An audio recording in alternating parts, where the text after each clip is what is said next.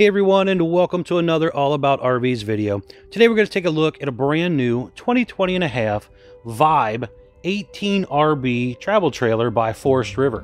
This is a small lightweight trailer. We're going to take a few minutes, run you around the inside and back to the outside of this new trailer.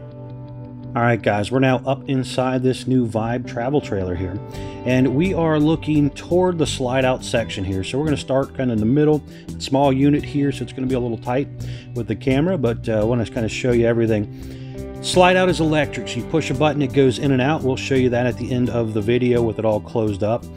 Um, you have a traditional booth dinette, and that does make into a bed. You have storage that'll pull out underneath the dinette area here that you're seeing pop up in the pictures. And then a pretty good amount of storage there on the right of the dinette as well. Looking back toward the rear of the coach, you have the 10.7 cubic foot 12 volt refrigerator by Everchill. Down below that is your electric box with your breakers and fuses. To the lower left is also the propane leak detector down there. And to the left of the refrigerator is your furnace and air conditioning control on the wall there. To the right, you have more storage that you're seeing pop up there.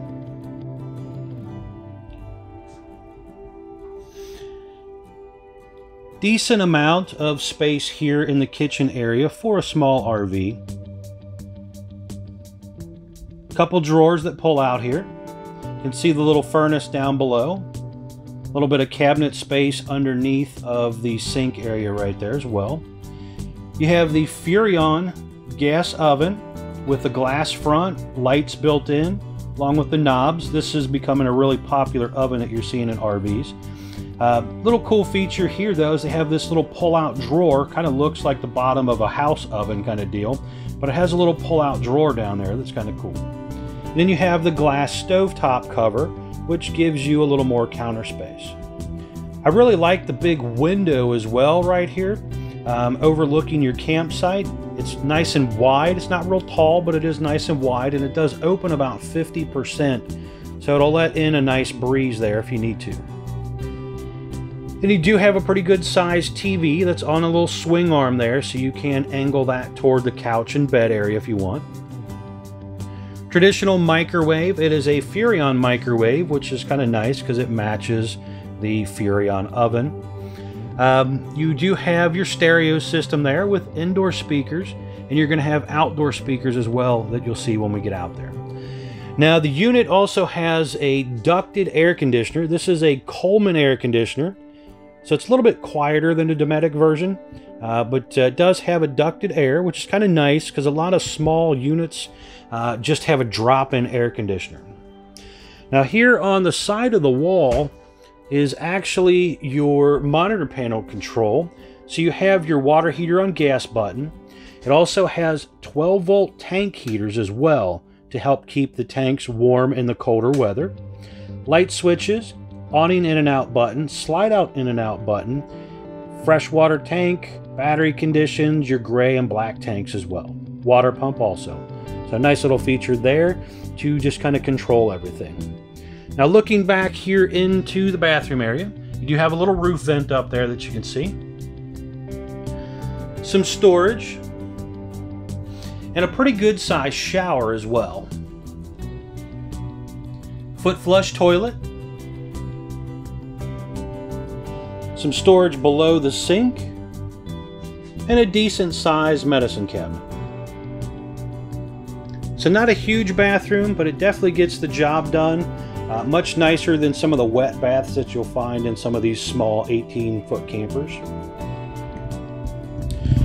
Spin back around here and show you the front of the RV. I look into it toward the front section here. You have a Murphy bed setup.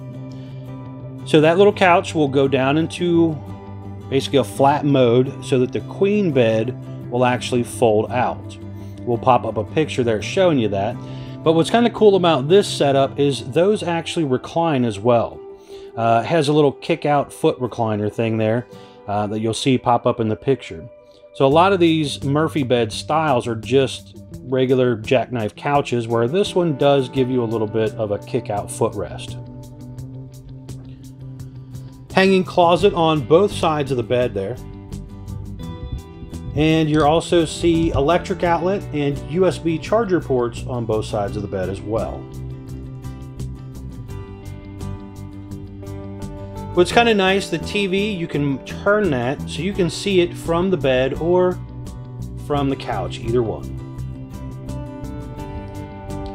A lot of linoleum floor throughout the coach.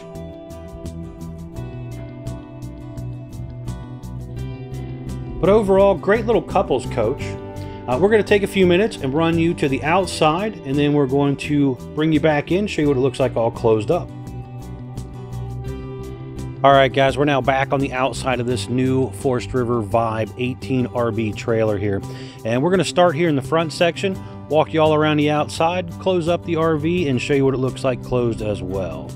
Um, up here in the front of the RV, you have two 20 pound propane tanks, power tongue jack with an LED light built in, 2 and 5 16 hitch ball, typical safety chains, Bargman plug, seven way, so it controls your lights and your brakes and all that type of stuff.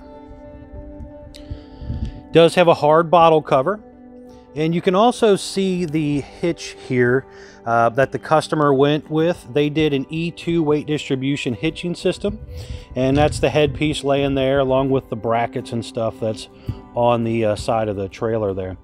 There's a battery disconnect in the lower section there.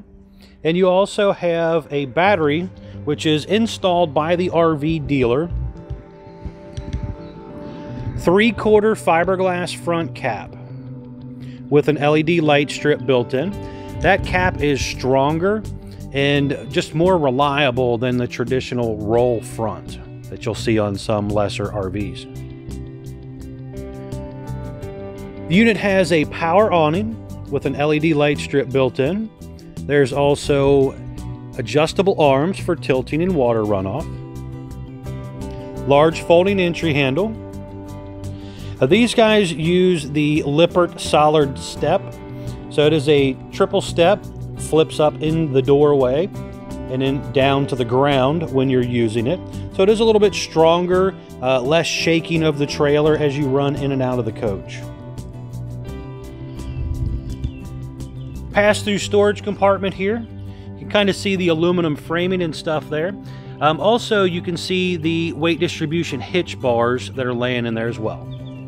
Again, those are optional. There's a lot of different brands of hitching that you can get for trailers, so definitely talk with your salesperson about that. The unit has heavy-duty scissor jacks. They're manual jacks on all four corners.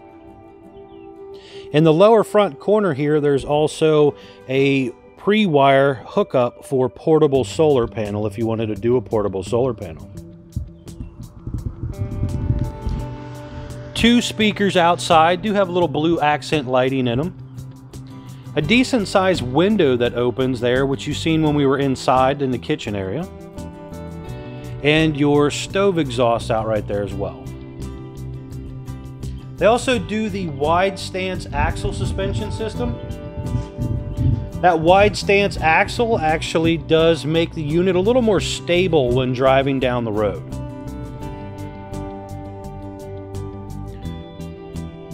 All right, coming on around to the back side of the RV here, you can see your spare tire there mounted on the bumper. It is a four inch squared tube bumper, which is pretty normal for an RV. It's where a lot of people store their dump hose. Um, also, you could do like an aftermarket bike rack and stuff like that will mount to those bumpers. In the lower right corner is your cable and satellite hookups. To the left of the spare tire there is the outside utility shower, hot and cold water, along with your city water and black tank flush inlets. Your detachable power cord, this is a 30 amp electric system, and it comes with a power cord. It's roughly around 25 or 30 feet long does have a decent arch to the roof on the outside, so it helps with water runoff, so it's not a flat style roof. It is a full walk on roof, so you can get up there and walk around if you need to.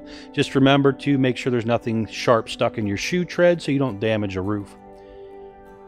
Roof is also, or the back is also pre-wired for an observation camera or backup camera. and you can see that little black thing underneath the light up there. I would recommend the observation camera. It's pre-wired for Furrion is who they actually set these up for. Uh, so I would definitely do the observation camera if that interests you so you can use it while you're driving. Back here on the lower corner here, you're going to have your hot water heater, which is a gas and electric water heater. And you're also going to have your gray and black tank dumps, which are located right down here as well. Now the unit is pre-set up for um, slide out awning toppers if you wanted to do a slide out awning topper. So it has these little brackets on the corners there uh, it's pre-set up for Solaire slide toppers. So if that does interest you, getting a topper to cover the slide, talk with your salesperson about that as well. Now going on around to the front of the RV here, you can see the other side of the pass-through storage. Your freshwater portable tank fill-up is also right here. And we're going to pop up some stickers here for your gross weight informational stickers, your tire sizes, and also the dry weight sticker as well. So you can see exactly what this camper came in weighing. Overall, a nice little RV here, lightweight, quick and easy to tow around. Go to a lot of the different older campgrounds, some of the old state parks and stuff that don't let real big campers come in. This would be perfect for a couple to travel around and do that. Now we're going to close everything up and be right back here to show you what it looks like closed. All right, guys, we're back inside the RV, and I wanted to show you real quick what it looks like closed. This is going to be a little tight here, but wanted to show you. Uh, again, you have your slide button right here. So basically what this is going to do, we'll hit the button. It's an electric slide room. So you push a button, it just comes right on in, and you can stop it anywhere you want to. So that's the nice thing here. So if you are at a rest area and you need to get to that refrigerator, you can just bump it out a few inches or a foot or two, whatever you need to be able to use it. It doesn't have to go all the way in or all the way out.